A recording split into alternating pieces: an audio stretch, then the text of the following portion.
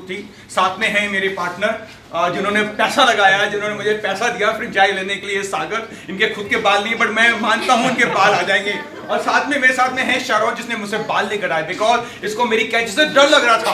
But मेरा वादा है कि जब मैं दोबारा आऊँगा मैं इसके बाल काटने वाला हूँ। और हम सब लोग मिलकर करने वाले इस, इस, इस सालों को बड़ा ग्रो करने वाले हैं। So let's just us all of us all of us. Pay for it. good. Good good thank you sir देखा पालो का रोमांस कितना पावरफुल था। चलिए I take a move now and God bless all of you